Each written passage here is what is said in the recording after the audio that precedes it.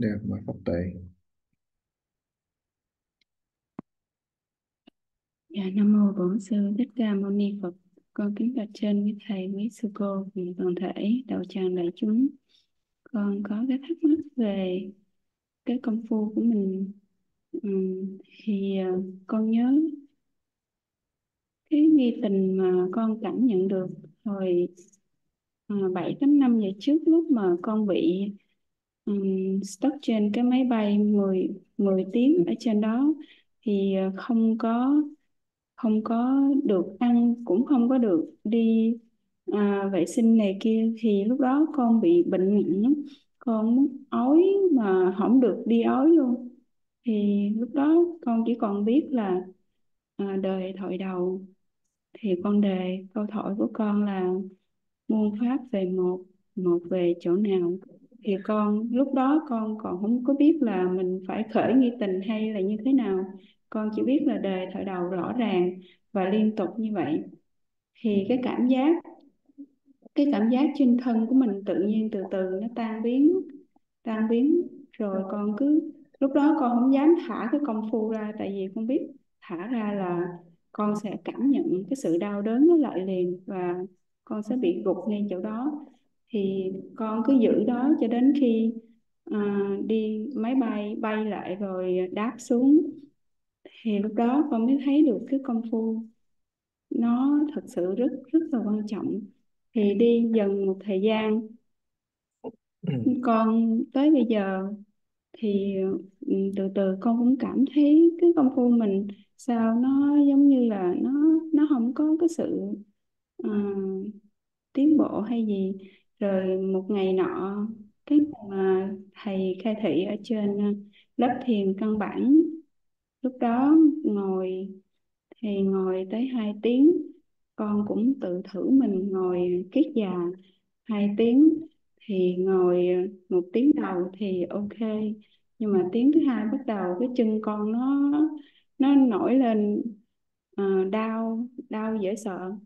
Khi con mới tự nhắc mình nói quý thầy ngồi như vậy mấy chục năm trời mà mình mới ngồi có một tiếng mà mình than than thân đau đớn như vậy thì lúc chết thì gần chết hoặc là bệnh thì làm sao mà mình có thể vượt qua được?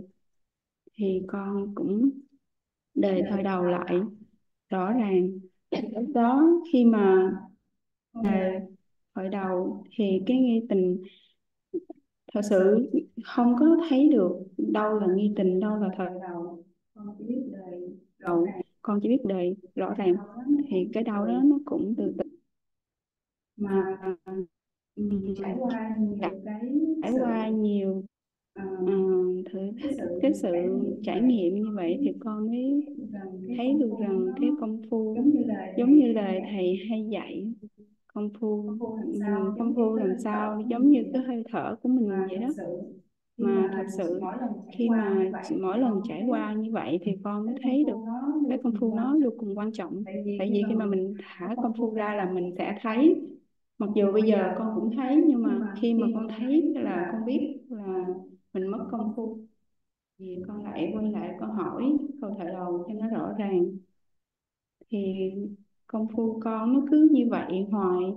Con không biết là con phải như thế nào. Tại vì sáng nay khi nghe thầy khai thị trong nghẹn ngào con thật sự cũng hổ thẹn bản thân mình. Con kính thỉnh thỉnh thầy từ bi khai thị.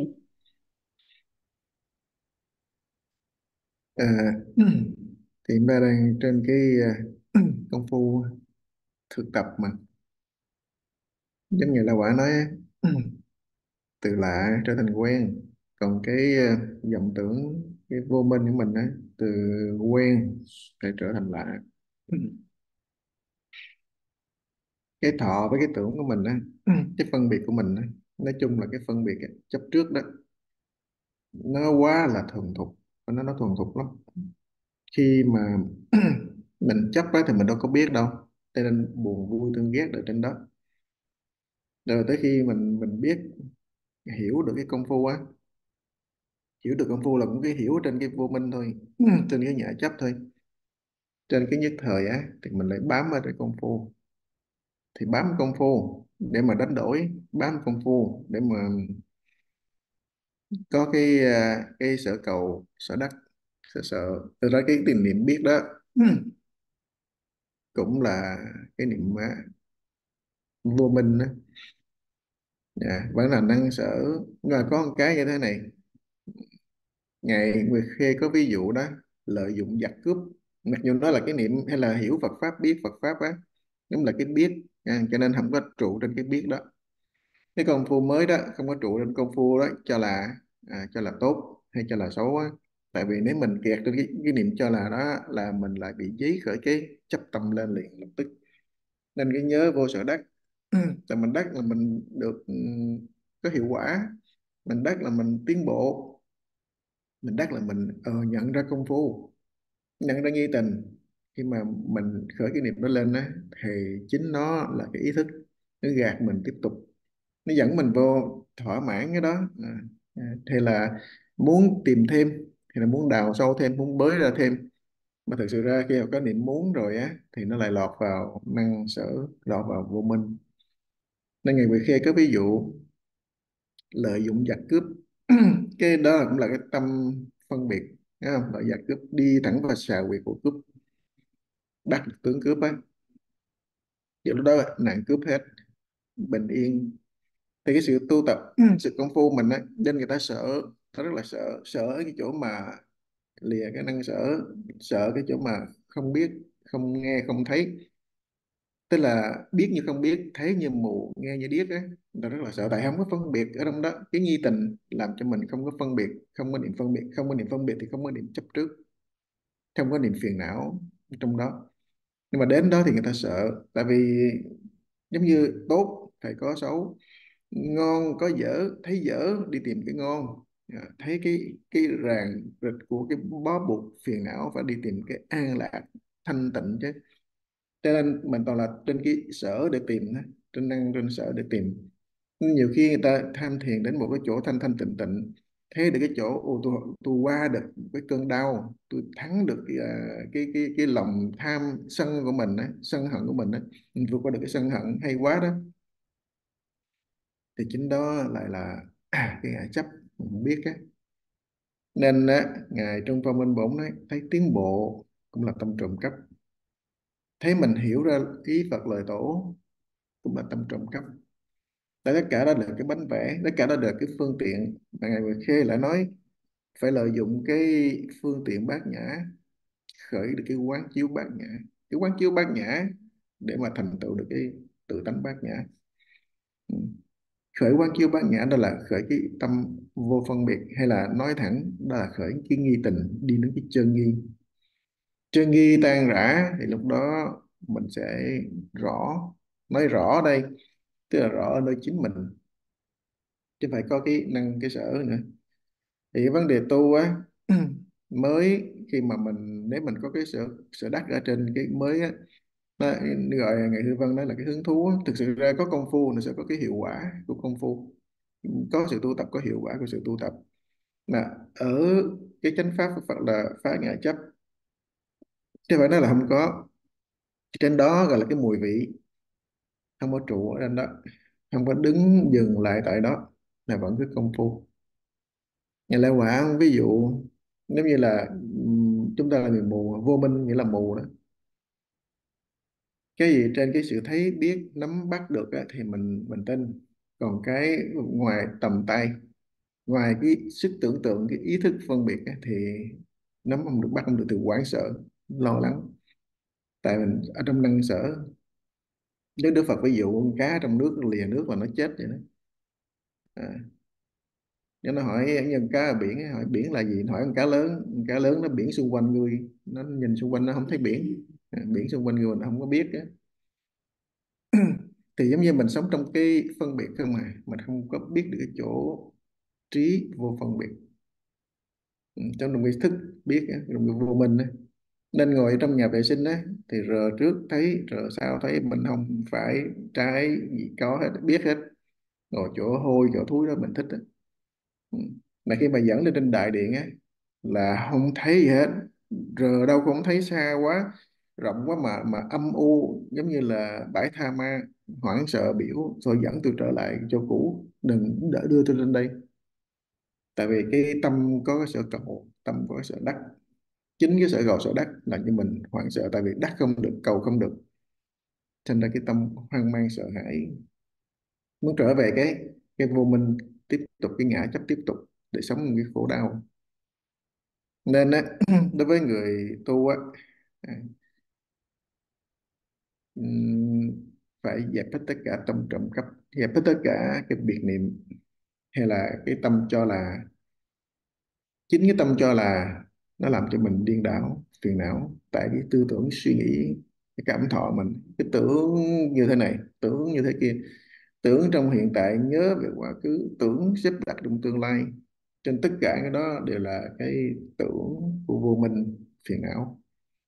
Cái nghi tình nó sẽ đốt hết nó sẽ quét sạch hết mà không có nổi ý quét nổi ý đốt nữa tự động thì nếu mà giữ được cái nghi tình công phu nó miên mật cũng là làm lớn về cái chánh pháp làm sống lại cái chánh pháp cũng là hâm nóng cái lửa của thiền tông ấy, trong mắt khác mình thực hiện được đúng với lại cái chánh pháp của Phật ấy. cho dù một mình mình cũng không có thấy là cô đơn lạnh lẽo nữa chứ mình cứ mình thấy sợ thấy cô đơn thấy cảnh rồi cái khởi tâm buồn khổ đó là mình đã bị ý thức đó nó chi phối rồi cái vô minh đó ừ, nó dẫn dắt rồi. Thì à, những cái mà kinh nghiệm như pháp tuệ làm thay qua thì đó là cái hiệu quả của công phu đúng. Nhưng mà công phu đó vẫn trên cái còn trên cái tâm á, hứng thú vẫn còn trên cái tâm sợ cầu sợ đắc á là mới mà mới nhưng mà mình làm sẽ có. Mà mình gồng mình như vậy đó mình sẽ bệnh. À, tất cả không có ừ, đó là bất đắc dĩ thôi. Cho dù ở lúc đó mà có tè ra rung quần đi ói ra ngoài tầm lâm đi cũng là chuyện bình thường thôi. Sức chịu đựng con người cũng có hạn mà. Tại cái đó giống như là ở trên máy bay hay là ở nơi không có có nhà vệ sinh mà phải đi tìm. Ví dụ như ví dụ như vậy đó là cái cái cơ, cơ thể cái, cái tâm lý sinh lý cơ thể nó bình thường. Chứ không phải nói tu tâm thì tu làm cũng được là không phải là chánh pháp hay là này cái nọ không phải. Tất cả nếu mà mình có cái cái vấn đề công phu tu tập chân thật á cứ việc bình thường. Đó là có bệnh uống thuốc á. Ừ, có bệnh thì đi khám bệnh có bệnh thì phải trị bệnh. À, thì đó là cái bình thường thôi. Nhưng mà cái cái uh, hiểu chánh pháp cho đúng và cái sự thực hành chánh pháp cho nó nó có một cái, một tâm một hạnh, một cái nhất định rõ ràng đó là cái cần cho người hành giả tham thiền, quan trọng người hành giả tham thiền. Chứ không phải mình mới thấy hơi hơi có cái chỗ nào nó không như ý, có chỗ hơi hơi mà thấy thiệt thòi hơn người ta. Cái mình chạy theo để có những cái cái cái lợi, cái danh, hay cái tiếng khen, tiếng ca tụng, hay là những cái thành quả này, thành quả nọ thì đó là mình bị bị ý thức đánh lừa, bị vô minh mình nó chi phối à.